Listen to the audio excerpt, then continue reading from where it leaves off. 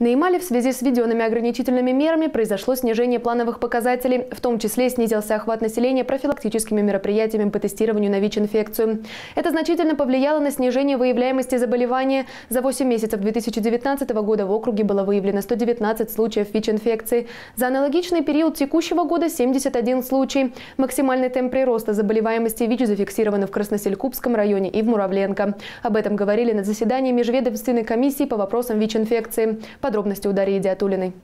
ВИЧ – это инфекционное заболевание, которое поражает иммунную систему человека. В 2020 году максимальный темп прироста первичной заболеваемости зафиксирован в Муравленко и Красноселькупском районе. В остальных муниципалитетах наблюдается снижение.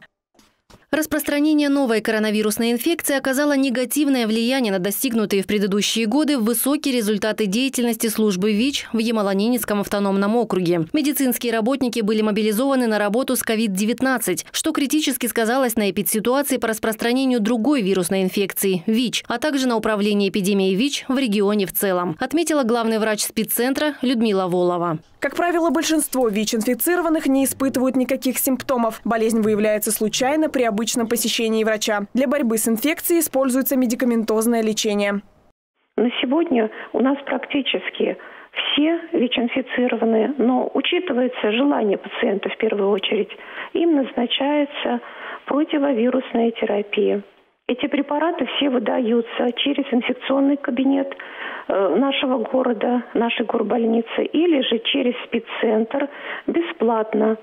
Схемы подбираются строго индивидуально.